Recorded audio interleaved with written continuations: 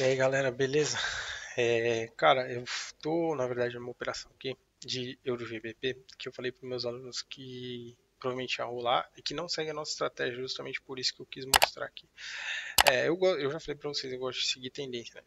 tendência, rompimento e tal. Só que nos últimos dias aconteceu uma coisa muito atípica aqui e quando acontece alguma coisa muito atípica, eu acho que é legal a gente aproveitar também. É, o EuroGBP ele vem subindo 1, 2, 3, 4, 5, 6, 7, 8, 9, 10, 11 dias seguidos. Né? E não, isso não é normal. A gente ter só dia, um dia de alta atrás do outro não é normal. Mostra claramente uma tendência de alta, uma tendência forte de alta. Né? A gente está tendo toda a questão do Brexit e dos problemas lá que, que, que todo esse processo eles ele está desencadeando. Mas mesmo assim, cara, né, você tem que analisar graficamente, apesar de não, como eu falei, eu prefiro ir com a tendência, você tem que analisar e perceber que uma hora o mercado vai ter algum tipo de exaustão. Né? Se você observa um gráfico um pouco mais longo, de uma hora, você percebe que a gente teve alguns rompimentos. E esses rompimentos a gente inclusive conseguiu operar com a nossa estratégia. A gente teve esse rompimento que se mostrou muito forte, o mercado subiu legal. Né, e você começa a observar todos os outros rompimentos que aconteceram né, durante esse processo, você percebe que eles tiveram muita força para continuar, mesmo quando a gente tinha algum tipo de resistência. A gente tem todos esses rompimentos, né, um depois do outro, andando bem forte. E esse rompimento que aconteceu ontem, ele foi o primeiro né, que o mercado, cara, não conseguiu ter, ter força para continuar. Então ele pareceu que ia, fez um falso rompimento, voltou e aí né, começou se, o mercado voltou a se consolidar. Então esse foi o primeiro sinal. Eu fiquei olhando só o gráfico diário, cara, só esperando, porque eu percebi que, que tinha alguma coisa estranha, sabe? O mercado estava vindo há muito tempo, subindo muito, 11 dias não é normal. É alguma coisa que é, que é bem atípica mesmo. Então eu desenhei, eu tinha desenhado algumas resistências. A primeira, obviamente, era essa resistência aqui, que o mercado varou, né, que nem uma bala. Então, tipo, cara, o mercado rompeu isso aqui sem, sem nenhuma enfim, praticamente sem nenhuma objeção de um dia para o outro. A gente teve um rompimento bem forte. Né? Essa resistência aqui foi rompida. Né? Então você vê que o mercado tocou algumas vezes, ele bateu algumas vezes nessa, nessa região. Aqui atrás também.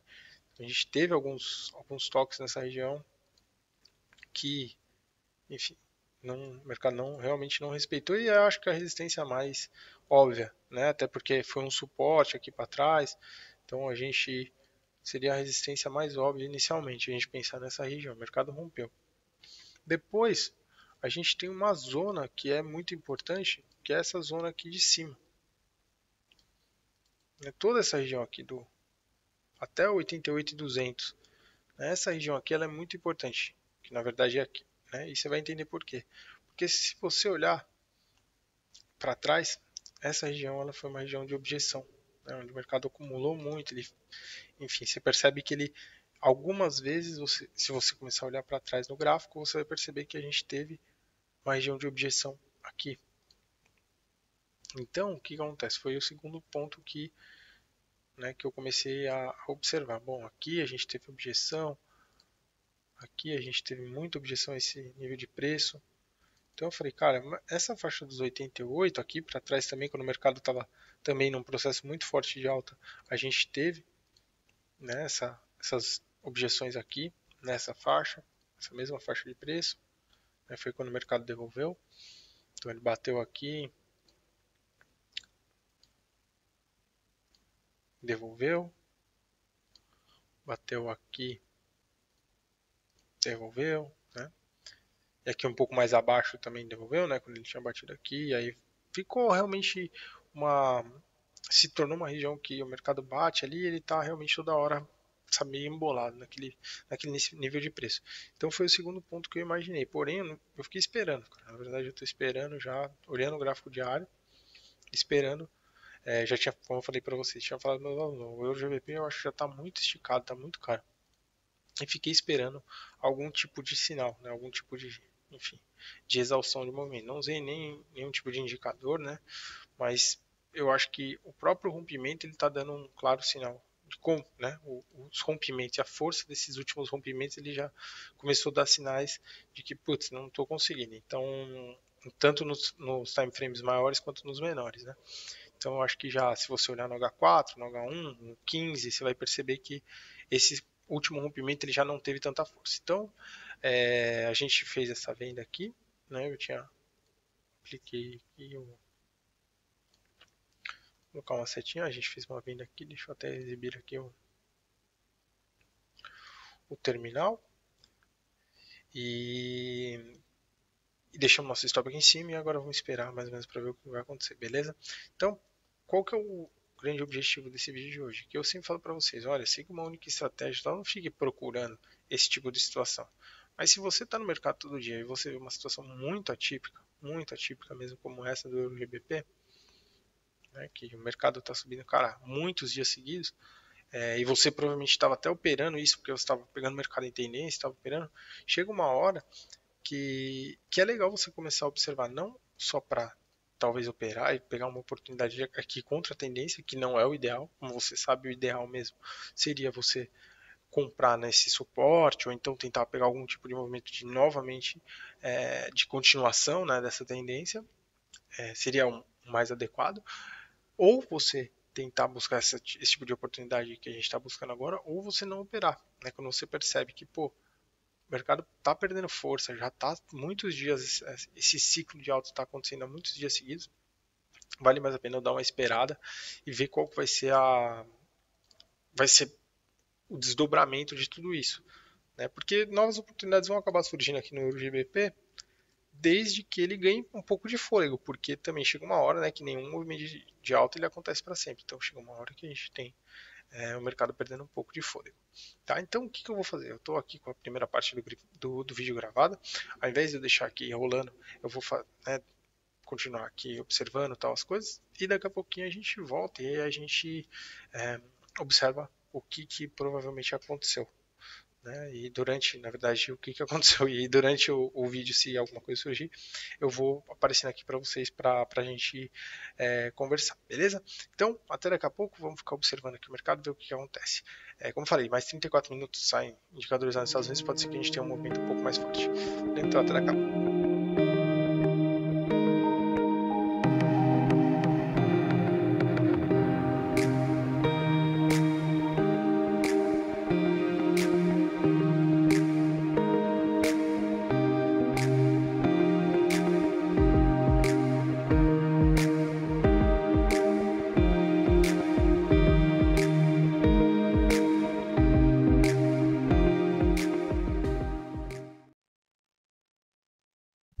E aí galera, beleza? Voltamos.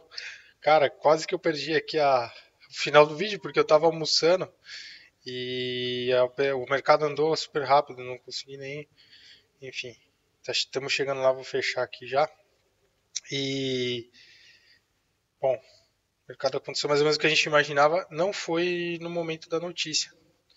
Na verdade, foi um pouco depois. Não sei se repararam, demorou um pouco mais para o mercado andar. E enfim, olha que legal, né? Além dessa desse trade, como eu tinha falado para vocês, a gente tem mais algumas operações que foram feitas no com os nossos com os nossos expert advisors, né? A gente tem uma conta que eu trabalho com expert advisor, que é muito legal.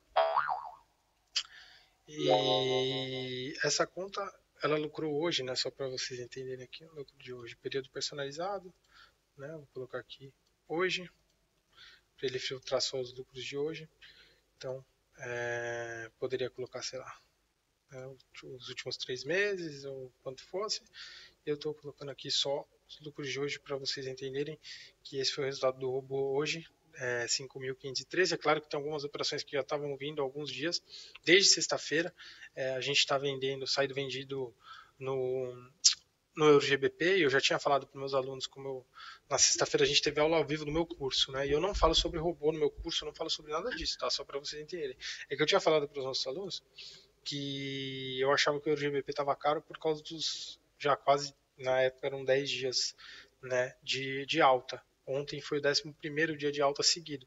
Então, né, 1, 2, 3, 4, 5, 6, 7, 8, 9, 10, 11 dias de alta seguida no meu GBP, eu falei, cara, tem alguma coisa errada, nosso robô começou a vender, vender, vender, né, e aí eu comecei a observar e falar, cara, isso daqui realmente eu concordo com o que ele está fazendo, porque está começando, está totalmente fora, né, de questão. E aí, como que eu tomei a minha decisão de vender? É, que foi agora há pouco, né, que vocês acompanharam foi exatamente falando, fazendo aquilo que eu falei para vocês. Eu percebi o seguinte: o mercado ele teve vários rompimentos. Né? Então teve um primeiro rompimento nessa região. Deixa eu colocar um indicador aqui que eu consigo desenhar, que é legal pra caramba. Cadê ele aqui? VR, VR, VR, VR. Tá. Então, por exemplo, eu comecei a perceber que a gente estava aqui, a gente teve esse rompimento aqui, certo? Aí o mercado andou pra caramba. Né? E andou e foi embora. Aí aqui a mesma coisa, ó, o mercado rompeu e foi embora. Aí você vai ver o que foi acontecendo com, o mercado. Vou apagar aqui. Na próxima vez, epa, na próxima, no próximo rompimento que fez daqui, ó, também o mercado andou e foi embora. O mercado andou aqui rompeu aqui e foi embora, né? Onde tem essa, esse círculo. Depois no próximo rompimento, que foi aqui, foi um rompimento menor, o mercado já não foi tão embora. Ele já foi, já voltou para a região de suporte. Então o que, que ele fez? Ele foi aqui e voltou para a região de suporte. Na verdade, que era uma resistência e virou um suporte. Então olha que estranho. Todas as vezes ele não tinha devolvido. Né? E tinha ido embora. Tinha, cara, rompido e indo embora aquele preço. E aqui ele já fez isso. E aí esse foi já um sinal de alerta. Falei, cara, isso aqui está entrando em exaustão realmente. Além disso, a gente tinha várias notícias para saírem hoje em relação ao euro, dólar, enfim. E aí a gente teve essa segunda tentativa aqui, ó. O mercado tentou romper e não conseguiu. Foi o primeiro falso rompimento que a gente teve. Quando o mercado teve esse falso rompimento aqui, e voltou, eu falei, cara, tem alguma coisa errada. Né? E é claro que eu não esperei o mercado voltar até todo esse ponto. Eu esperei, na verdade, quando ele chegou aqui, eu já fiz minha venda. Não sei se vocês lembram, minha venda foi aqui para buscar esse ponto aqui embaixo. Então, por que, que eu vendi mais ou menos nessa, né, nessa região aqui, sabendo que pô, o mercado estava subindo, subindo, subindo? Se você é meu aluno, você sabe, né? Eu opero tendência, cara. Eu vou junto com o mercado conforme ele está arrumando. Porque esse tipo de situação vai se apresentar de tempos em tempos. Não sei se vai ser a cada três meses, seis meses, um ano. Você não tem que ficar buscando esse tipo de situação. Mas às vezes, um determinado mercado vai disparar de uma determinada forma que você vai começar a olhar aquilo e falar, cara, tem alguma coisa de errado acontecendo aqui, entende? É, por mais que o preço pode subir até o infinito e cair até o zero, porque esse é o conceito básico né, de ser trader, você tem que saber que o infinito, tipo, o céu é o limite. Se você subir, é o limite. Para baixo é o zero. Quando a gente está falando de Forex, a gente está falando de duas economias. Então, são duas moedas, dois países, dois blocos econômicos. Aqui a gente está falando da economia do euro contra a Libra, contra a economia do Reino Unido. Tem todo o Brexit e tal, mas chega um determinado momento que os players, os bancos centrais, é, os, a toda a macroeconomia dos países vai começar a pesar. Né? E aquilo vai ter um determinado momento que vai entrar numa exaustão. Eu não recomendo você fazer isso, tipo, ficar procurando esse tipo de oportunidade nem nada. Mas existem momentos, cara, que você vai perceber que elas vão aparecer. Né? Então você pode fazer duas coisas. Ou você simplesmente para de ir nesses rompimentos e fala, cara, isso daqui já foi demais, entendeu? Eu não vou continuar indo nesse rompimento porque eu vai ter uma hora que esse mercado vai dar um falso rompimento, vai ter uma hora que ele vai dar uma devolvida. Né? Eu vou ser estopado. Então, ou é essa opção, né, de falar, bom, vou ficar um pouco de fora porque eu acho que já esticou demais, já já está muito além. Ou a outra opção de fazer operações um pouco mais longas, né, tendo colocando um padrão de risco um pouco diferente, então tendo um stop mais longo, um take profit um pouco mais curto, trabalhando de uma forma um pouco diferente, mas com essa linha assim, de falar, pô, cara, o mercado já foi demais, entendeu? Eu tenho espaço para vender uma quantidade pequena com um stop longo, porque, cara, isso daqui já tá, até né, já foi demais. Então, é mais ou menos isso que eu desenhei na minha cabeça. O cenário foi analisar todos os fundamentos econômicos e falar, putz, isso aqui está muito esticado, está muito longe do que deve estar, tá, é, já subiu demais, e aí, tecnicamente, olhar os gráficos e falar, cara, são 11 dias seguidos de alta, uma hora a gente vai ter um dia de queda. Né? É questão de tempo. Né? E, então, é, foi mais ou menos essa linha de raciocínio. E o que eu levei em consideração mesmo foi esse falso rompimento, né? como eu já tinha falado para vocês. Então, foi isso daqui. Na hora que o mercado devolveu aqui, para mim, foi o sinal claro de, cara, é melhor vender e buscar aqui esse ponto. Então, agora, passada essa situação, volta pro normal, operar a tendência de alta, porque eu acho que né, se a tendência de alta continuar, o mercado provavelmente vai fazer um pullback, ele vai dar uma devolvida e vai subir de novo. Por quê? Porque está em tendência de alta, essa é a grande verdade, não adianta você querer vender agora, né? Não é porque uma coisa é você esperar uma, devol... né, uma devolvida forte do mercado, outra coisa é você achar que o mercado vai sair caindo para sempre. Não, não. entendi. É, não é nada, né? Era a Siri aqui no, no relógio falando, desculpa, gente. É... Então, basicamente é isso. Não adianta você também ficar esperando né, esse, essa devolvida. Agora é trabalhar com tendência de alta normal de novo. Fazer as coisas é, como, como a gente já faz normalmente. Outro ponto importante é que esse nosso robô, eu não falo sobre ele no nosso curso, tanto é que na aula ao vivo que a gente teve na sexta-feira eu não falei né, nada disso que eu tô falando para vocês, ó, eu tô vendendo um robô, eu não falo de robô, eu não falo de nada, eu ensino a estratégia que eu uso, que inclusive não é essa estratégia que vocês viram agora, né, isso como eu falei, foi uma coisa bem atípica, então eu não falo, tá, só para deixar um pouco claro que eu não falo né, sobre esse robô, qual é, nem sobre os outros robôs que a gente utiliza, não falo, não explico, não, não falo nada, eu só queria mostrar para vocês que enfim, que existem situações, existem oportunidades dentro desse tipo de mercado de expert advisors e tal, que é legal. É, esse é um ponto. E outro ponto muito importante que eu queria falar para vocês é sobre misturar as estratégias. Eu falei em um determinado vídeo é, que é muito importante você definir toda a sua estratégia, você seguir com a sua estratégia do começo ao fim. Então você não ficar fazendo, é, trabalhando com, enfim, saídas de estou é, seguindo uma estratégia de price action, depois eu vou querer fazer outra coisa, ou estou é, trabalhando com fluxo e agora eu quero ver o price action. Então, acho que você tem que fazer a sua estratégia, seguir a sua estratégia do começo ao fim. Nesse nosso caso, a estratégia era stop mais longo, olhar o mercado panorama geral e tentar é, buscar uma devolvida do mercado, porque uma hora ia ter uma devolvida. Né? Beleza, esse era o tipo de situação que a gente estava observando. Não adiantava né, no momento que eu defini meu stop, defini minha entrada, defini tudo, eu passar a observar o price action para tentar observar qualquer outro fundamento técnico do mercado que não fosse aquele fundamento inicial da minha operação, que é, cara, o mercado está muito esticado, subiu por 11 dias seguidos, eu vou esperar ele dar uma devolvida. Né? Esse era o meu, essa era a minha estratégia. A minha estratégia era, eu fiz essa seguir toda essa linha de raciocínio e agora vou com ela do começo ao fim. Não adianta eu ficar tentando buscar sinais de que, bom, eu devo sair ou eu devo entrar, né? Eu já decidi que eu devia entrar e eu já decidi como que eu vou sair se eu for sair, né? Então eu já decidi é, que quando o mercado fez esse falso rompimento eu ia entrar aqui, ia deixar meu stop aqui, tipo, né, um pouco mais alto meu stop era aqui e, cara, ia buscar esse, essa devolvida. Você misturar as coisas vai te confundir.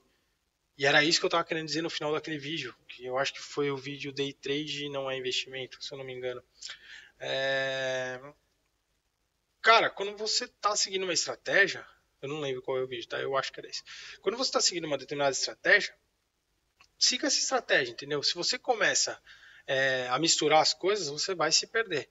Então, se você está entrando numa determinada operação porque você está trabalhando com análise de fluxo e você está percebendo que é a hora de fazer aquele trade, não adianta você misturar isso com outra coisa que não seja aquela sua estratégia. Entendeu? Se você está analisando puramente os gráficos, falando, cara, estou aqui analisando um gráfico de M15 e H1 e, cara, chegou a hora de entrar. Eu acho que o mercado vai dar um pullback e tal. Minha estratégia me diz quando o mercado sobe e cai um pouco, é para eu entrar no pullback, beleza? Então eu compro aqui acreditando numa continuação da subida.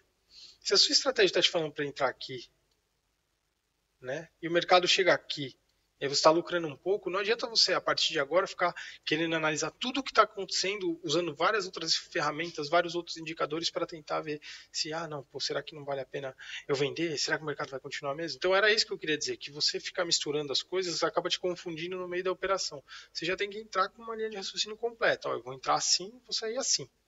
Acabou. Entendeu? E aí ser um mero observador do mercado e ser um mero observador do que está acontecendo. Então era isso que eu queria dizer, né? Que você não deve misturar as coisas. Não é que price action não funciona, ou que tape reading não funciona, ou que é, os indicadores e trabalhar só com cruzamento de média não funciona. Tudo funciona, desde que você seja disciplinado e use a estratégia é, de maneira, né, da maneira correta, seguindo gestão de risco. Então esse é um ponto importante também.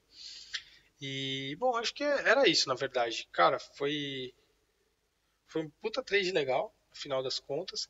A gente teve esse lucro, foi um lucro bacana pro, né, pro mês tal.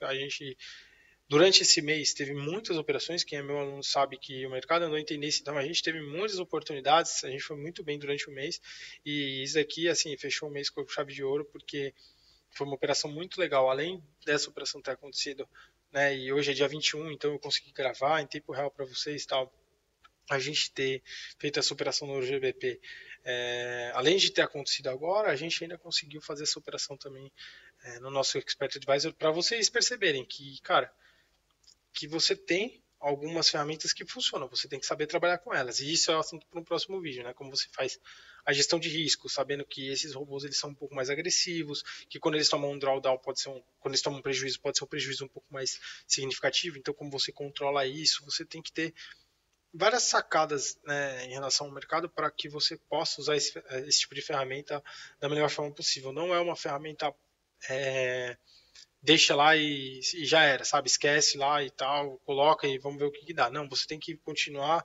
observando, sacando os lucros, é, reduzindo o, o, risco numa hora que você percebe, por exemplo, que você vai ter o Brexit, que você tem guerra comercial, que você tem, cara, você reduz um pouco o risco desse robô, porque pô, pode dar problema, porque o mercado está muito volátil.